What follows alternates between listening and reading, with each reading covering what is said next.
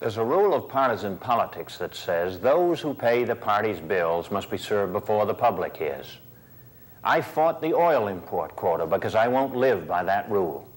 That's why I have a challenger in this Republican primary, and you have a choice.